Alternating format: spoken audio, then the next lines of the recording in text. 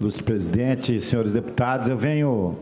é, somente agora para ratificar a moção de pesar para o advogado, amigo, companheiro nosso, inclusive de jornadas é, e campanhas da OAB, é, o ex-deputado Paulo Estevo, que faleceu é, de ontem para hoje, nessa madrugada. Então, moção de pesar assinada pelo nosso presidente também, Paulo Correia, pelo, por, pelo, por outros deputados, somente para apresentar a moção de pesar, que me parece que vários deputados estão apresentando, para que a gente faça conjuntamente.